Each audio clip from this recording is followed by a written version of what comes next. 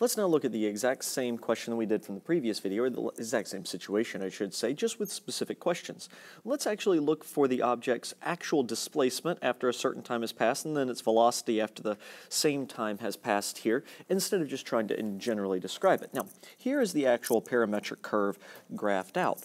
And so if I'm looking for the object's displacement, that's from the starting position to whatever the ending position is. Here we're looking at six hours, so that, that's somewhere in here, and I want to know that displacement there. Now, just like we have learned with vectors, this displacement vector, of course, will have a x component, and it's going to have a y component, and the way we would get that x and the y component is by actually substituting in to my equations.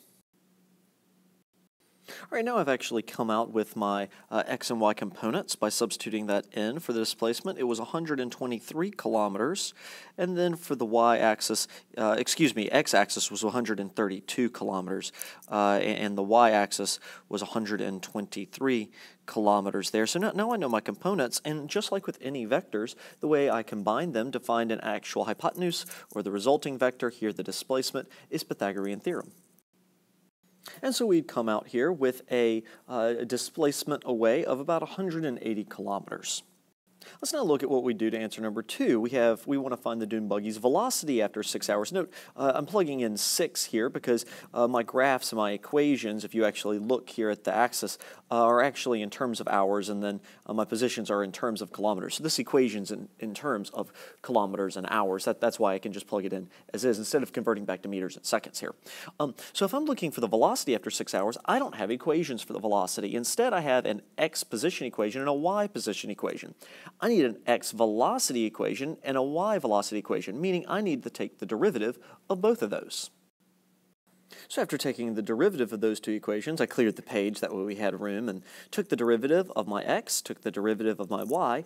That gives me my velocity equations over here. Now once again, I'm looking for not just the velocity in the x-axis or the y-axis, I'm looking for the actual velocity. But I'll get my x component from my x-axis equation, I'll get my y component from my y-axis equation. So let's substitute in 6 hours in both, get my components, and use Pythagorean theorem to combine them. Now I have my two components. To find the actual magnitude of my resulting velocity, we use Pythagorean theorem. So this dune buggy, it's the six hour mark, is moving at approximately 19 kilometers per hour, 19.4 uh, kilometers per hour. Now I missed a huge step on my last problem that I solved, number one. I just gave the magnitude of the displacement, but displacement is a vector. It has to have a direction. If I don't have a direction on it, I have only solved half the problem. Let's not make the same mistake here with velocity. Let's go ahead and get that direction using inverse tangent. And I would come out with an angle here of negative 55 degrees, which actually doesn't make any sense. Come back up here and look at this graph. Uh, at the six hour mark, according to this angle, we have a trajectory down into quadrant 4, negative 55 degrees, that would be a trajectory coming down like this. But that's not true. In reality, we have a trajectory that is 180 degrees opposite of that, coming up like that towards quadrant 2. So we need to add 180 degrees to this. Plus, you can even look at the components to figure that out. What quadrant or where should the angle be if we have a negative x and a positive y? That should be quadrant 2, and this is in quadrant 4. Add 180.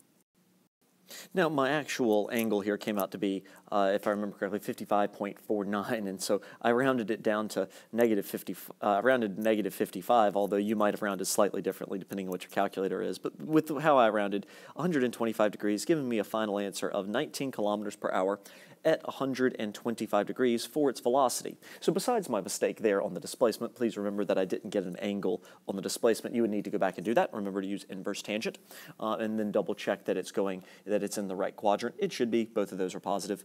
Um, then you would have solved for the uh, displacement. We would have solved for the displacement and the velocity at the specific times. And that, that's the pattern you'd go about solving for anything specific. You have an x and y equation. Those will give you the components that you need. You might have to take the derivative if it's a position to get a velocity equation, but that's how you would get your components is from the uh, parametric equations. Use Pythagorean theorem and inverse tangent uh, to combine those two components to the actual displacement or the actual velocity, or if you had to, let's say, go to, to the double derivative of position to get to the acceleration, use inverse tangent uh, and Pythagorean theorem to get your actual vector.